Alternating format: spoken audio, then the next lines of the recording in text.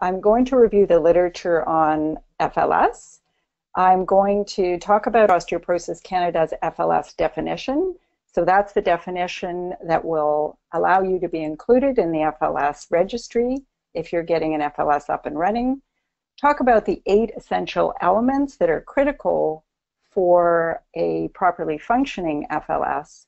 And then I'm going to spend most of my time on the Peace Arch Hospital FLS that I was involved in and give you some idea of how it came to be, what our first year outcomes were, and what I think were some of the key factors for successful implementation.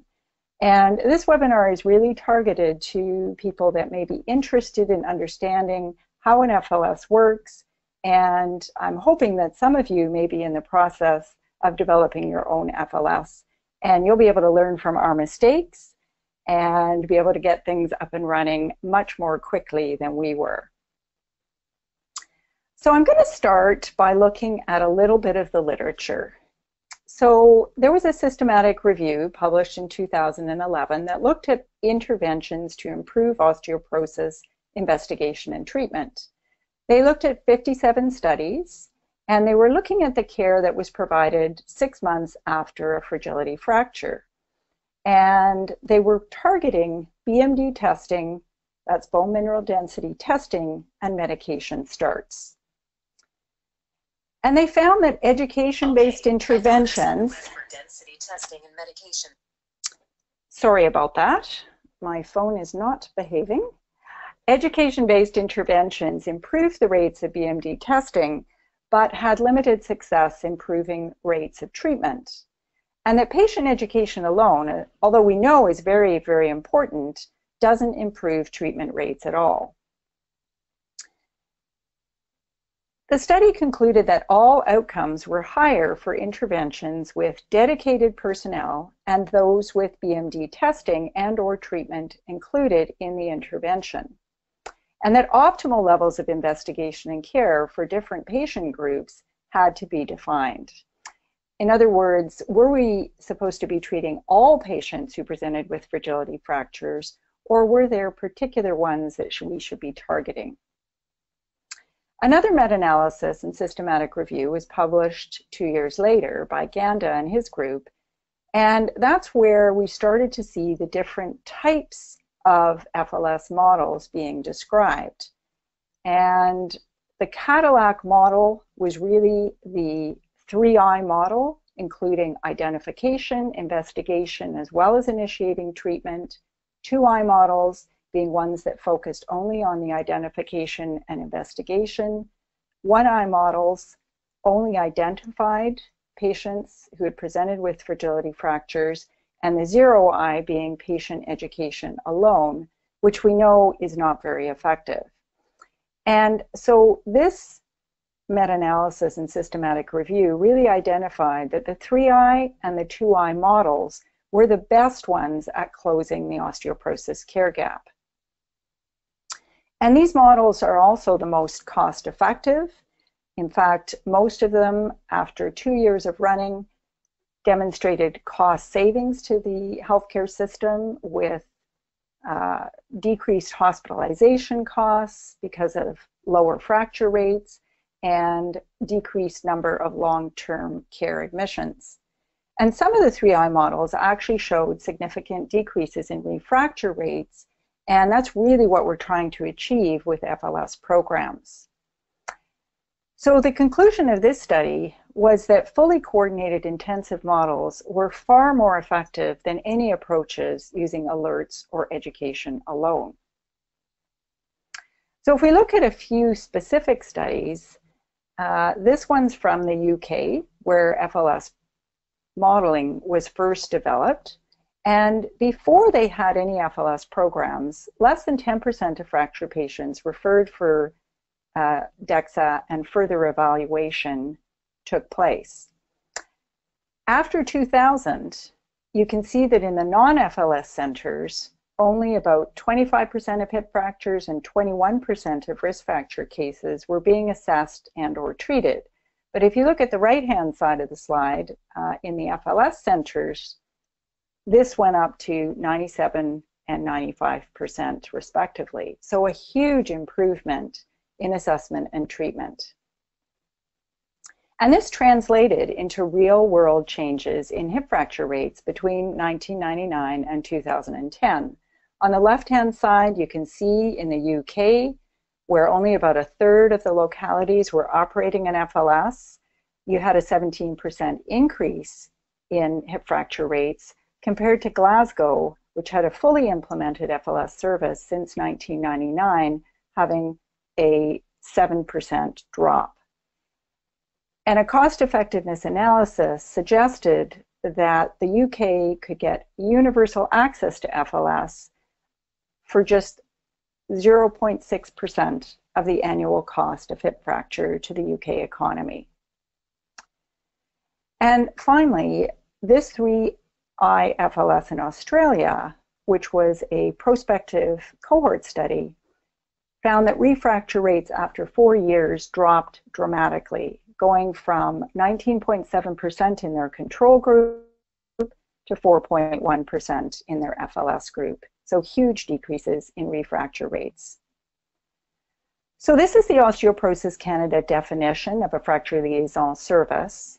It is a specific system-based model of care for secondary fracture prevention, and it really is based around that dedicated coordinator that does the first I, so that's identification, systematically and proactively identifying patients age 50 years and older presenting with a new fragility fracture, making sure that they get investigated by organizing the appropriate investigations to determine the patient's future fracture risk, and then finally, either initiating or facilitating the initiation of appropriate osteoporosis medications.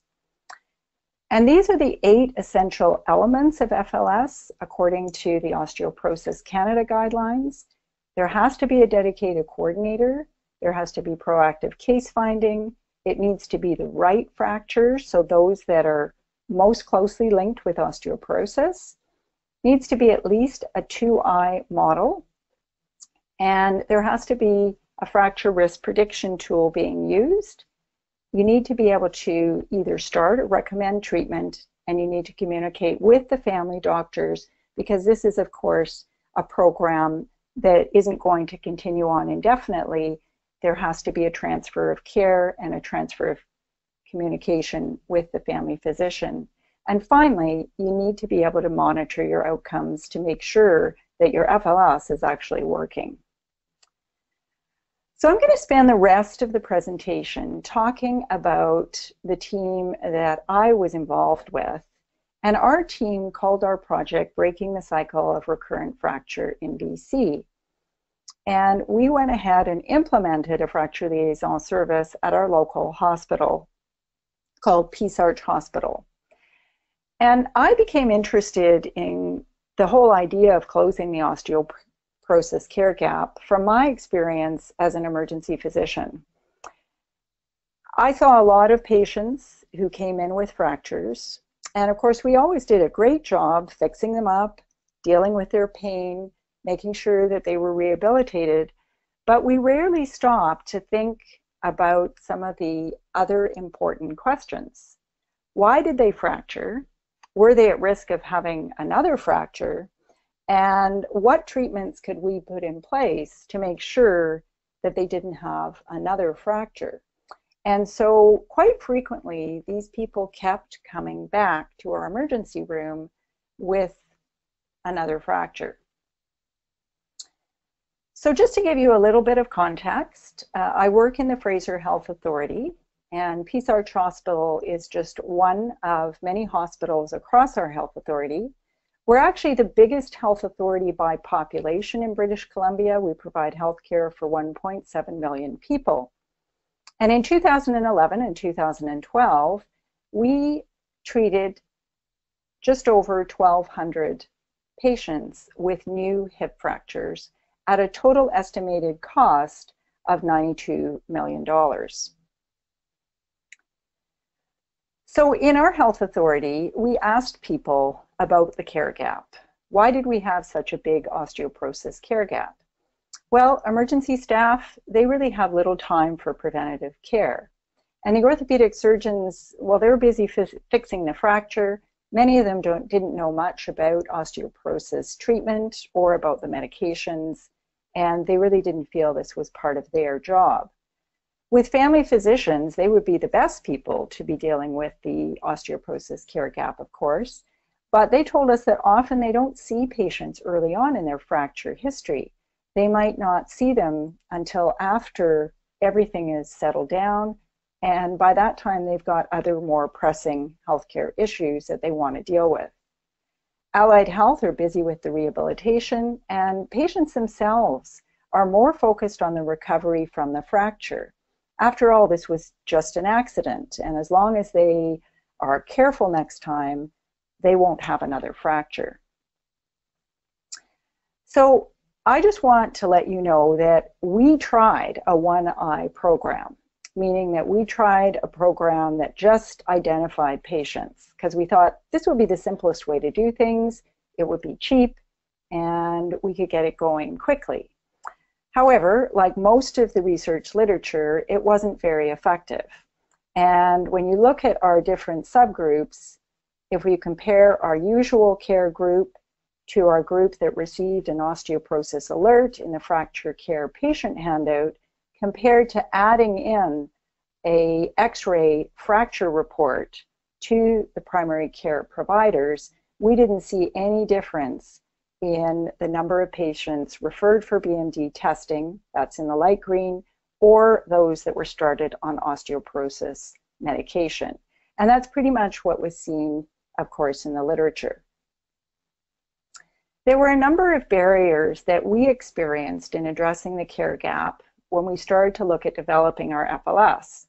We have a lack of access to bone mineral density testing in British Columbia.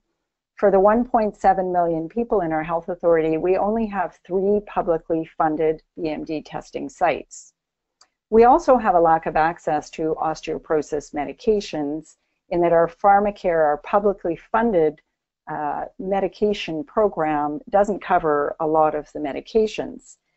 And there are many perceptions in our province that medications are not effective despite all of the research that is available, an overblown fear of some of the medication side effects, and a feeling that fall prevention and exercise programs will prevent all fractures from happening. And we do know that that isn't true. We did have a number of opportunities, however. There were uh, quite a few local secondary fracture prevention initiatives that had started to get going. We had inter interested endocrinologists and osteoporosis specialists who were prepared to follow up on the patients. And we had supportive orthopedic surgeons that were already referring patients to some of our osteoporosis consultants. And the Ministry of Health had put a big investment of funding in falls prevention, and we thought that this was a really good opportunity for us to partner with them. so this is just a timeline showing you how we progressed through the various stages to get to a fully implemented FLS program. And as you can see, it was a long journey, and I'm quite hopeful that most people aren't going to take that long to get an FLS up and running. We started back in 2012 by bringing together a research team, and we managed to get some uh, research planning grant funding to start moving forward and figuring out what was going to work in our health authority. And we also tried to learn from others who had done similar things before us. So we brought people from the Kaiser Permanente group in California who already had a very well established FLS. We brought people from the Ontario Osteoporosis Strategy from Toronto. We brought people from the UK where FLS first got launched and also from New Zealand where an FLS is now being spread out across the entire country. And of course, Osteoporosis Canada provided us with a lot of support and in 2013, they came up with their FLS toolkit, which is now available for anybody to use on the Osteoporosis Canada website. In 2014, we were ready to submit a proposal to our local hospital foundation, and that got funded. And so in 2014 and 2016, we were able to get going with an FLS prototype. We received some additional funding from one of the pharmaceutical companies and also some funding from the Ministry of Health. And finally, at the end of 2016, we were able to say that we had a permanent funded program. But I can't tell you that it was easy because it was a long process. We had a very large secondary fracture prevention team, and we had some fabulous project coordinators that worked with us. And these were partnerships between a number of our Fraser Health leads from all of these various departments. We also had external partners from the Center for Hip Health and Mobility in Vancouver, the BC Osteoporosis Clinic, also in Vancouver, and the Ministry of Health, Osteoporosis Canada. And I just wanted to highlight that we also had patient representatives. These were patients from the Osteoporosis Canada patient network, and they were really important members of our team. Our older adult program was the one that really allowed us to move forward and provided some administrative support. And so we did actually have an executive director champion that was willing to work with us to take this forward if our FLS prototype was successful. And of course, as I mentioned, we did make great use of the FLS toolkit and all the appendices that are available for everyone to use on the website. So we decided that we were going to go with the Cadillac model. So that's the 3I model. And we integrated it directly into our orthopedic outpatient care. As I mentioned, uh, this took place at Peace Arch Hospital, and we hired a nurse practitioner. Her name was Nancy, and she worked three days a week with the three orthopedic surgeons on the days that they did their follow up cast clinics. She used the orthopedic clinic list to identify eligible patients, and these were the six fracture types that we chose to enter into our program. And these are the ones that are most closely associated with osteoporosis. All of our patients had to be over the age of 50 and they had to have low trauma fractures. So if you were a patient after February 25th, 2015, when you went to see the orthopedic surgeon, an FLS coordinator, that was Nancy, would link up with you while you were at the clinic. She'd talk to you about your risk of another fracture, order the appropriate investigations, do an assessment of your future fracture risk using the FRAX prediction tool, and also do an assessment of your risk of falling. In terms of our treatment guidelines, we moved away from using bone density results as our decision making for treatment guidelines and we moved to the 10 year fracture risk. And we focused on treating those patients who were scored at high risk for having another fracture. This is the tool that we use to do a screening for whether somebody was high risk for falls, and I'm certainly happy to share this with anybody.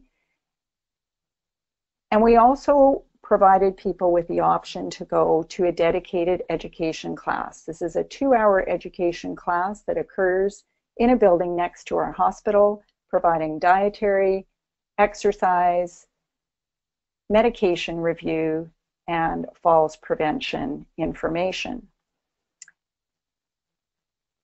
Another important part of our education program, though, were the Osteoporosis Canada patient volunteers. So these people really provided that real life context to the patients who were coming to the education class, and they were a really important part of our education program. They really gave people the sense of how a person can live well with osteoporosis. And finally, in terms of the treatments, we made appropriate referrals and recommendations to our falls prevention mobile clinic We did initiate patients on medication if they were found to be at high risk for future fracture. And then, of course, there was always the communication with the primary healthcare provider in the community. So patients got uh, at the, sorry, the primary care provider did receive a letter when the patient entered the FLS program, and it talked about the kinds of investigations that were being ordered. And then at the end, when the risk scoring had been done, all the investigations had been completed, and a decision to initiate or not initiate on medication was made, uh, a letter was sent again to the primary care provider in follow up. And then we did have certain criteria where the FLS coordinator would refer to an osteoporosis specialist for complex care needs. For example, a patient with long term corticosteroid usage was always referred to a specialist. So, how well did our FLS work? Well, I think I wouldn't be here presenting to you if it didn't work very well. So, you already know that our FLS was successful. We did a study, we did a pre and post FLS implementation, and we looked six months after the fracture whether, first of all, a new BMD study had been ordered, and then we also looked at what we defined as appropriate care in high risk patients.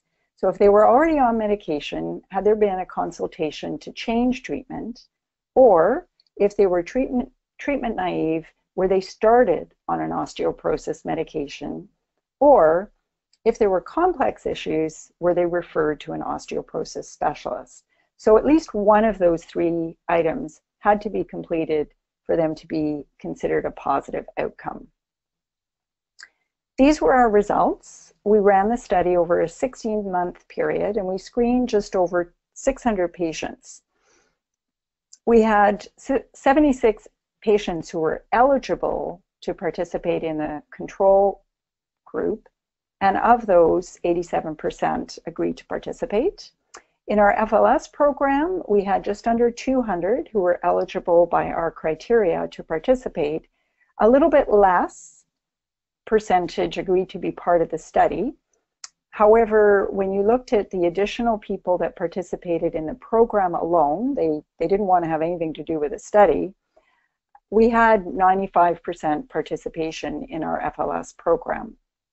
And as you can see, we had fairly good six month follow up rates in both the control group and the FLS group. We had 198 patients total presenting with low trauma fractures, and not unexpectedly, most of them were female.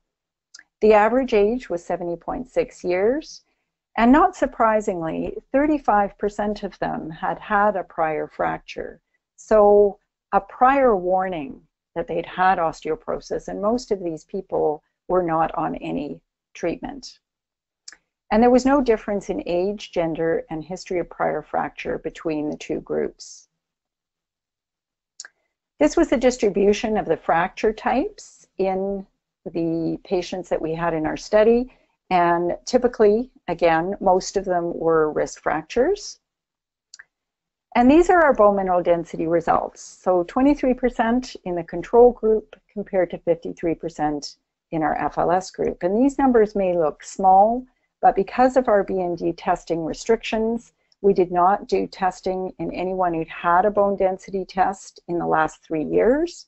And we also didn't do bone density testing in any of our hip fracture patients because they were automatically scored as being at high risk for future fracture. So if we looked at the appropriate BMD testing, it was about 33% in our control group and 82% in our FLS group. In terms of risk of future fracture, again, most of our patients were high risk for fracture, uh, a little bit more in our usual care group. And when we looked at appropriate treatment in high risk patients, in our usual care group, only 22% of patients achieved that appropriate treatment, which is typical for what we see when we don't intervene in any way. But when we look at our FLS program, it was the opposite. So that blue number is much bigger in our FLS program, and that translates into 76% of patients achieving appropriate treatment in our high risk patient population. So it was really, really successful in a short period of time. When we looked at falls, we provided a home safety checklist and a guide to independent living for any of the patients who'd had uh, more than one fall. And we also, in our FLS program, referred a small proportion of them to falls prevention assessment. So you can see that 9% were referred. In our control group, not a single patient was referred for falls prevention, despite the fact that many of them were multiple fallers. And in terms of patient experience, we had about half of our patients in the FLS program that responded to a survey, and we got great feedback. 84% of them believe that their understanding of osteoporosis and bone health had improved with the program. 76% rated the help they received as 7 out of 10 or better, and 82% of them rated their experience as 7 out of 10 or greater. And we were just thrilled to see that about a third of them rated it as a 10 out of 10. So I don't think we could have done better than that. And one of the patients, this is just a quote, she wrote that she really appreciated the thoroughness of the bone assessment, the time that Nancy spent with me and my family to answer all of my questions. So many people ask about what I think were the keys to success, and I'm certainly no expert in the area. I can only speak about our team's experience. But I do think that it is very important that you have a champion. And it really helps if it's somebody who's a well respected clinician, somebody that's been in your healthcare system for some time, therefore, they're well connected to the relevant stakeholders and somebody that works in the hospital setting because these FLSs do take place in the hospital. Now, if you're somebody who's trying to get an FLS up and going and you're not any any of these uh, champion criteria, you don't fill these criteria, then you have to find somebody who's going to be your partner, your champion for your program. You obviously have to have the full support of the orthopedic surgeons and the cast technicians that may work in your cast clinic. And we were fortunate to have Dr. Earl Bogoch, who's an orthopedic surgeon and the champion of the St. Mike's Hospital FLS in Toronto, to come out and speak to our orthopedic surgeons because they're not going to listen to me, a family physician, but they're certainly going to listen to another orthopedic surgeon. So surgeons speaking to surgeons is very powerful. You need to address their concern that FLS will slow them down during their clinic.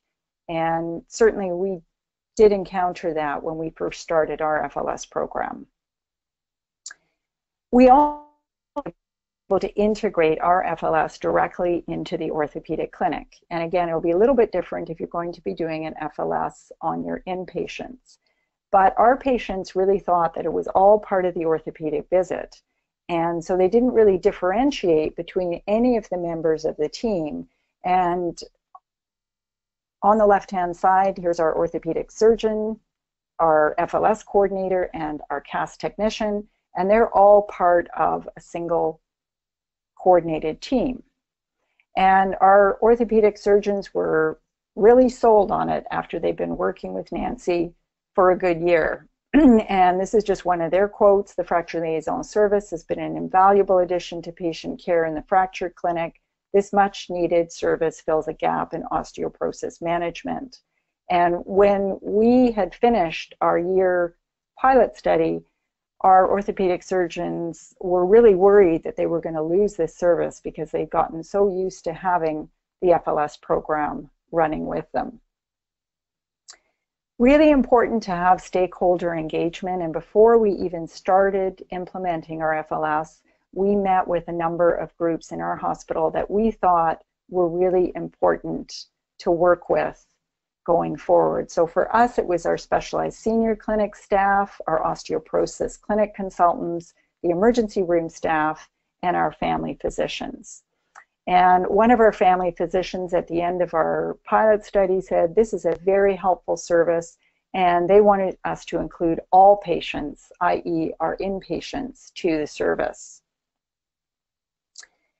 I felt that it was really important to engage osteoporosis patients on the team.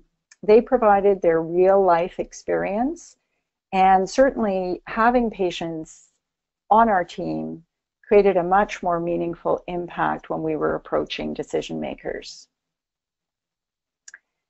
Engaging decision makers early on, I think, is really important, and understanding the pressures that they're under and being able to tie an FLS program into your particular health system priorities, and they're going to be different in different health systems.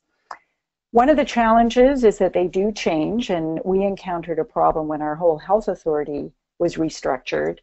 And so partnerships sometimes need to start all over again, and that can be very frustrating.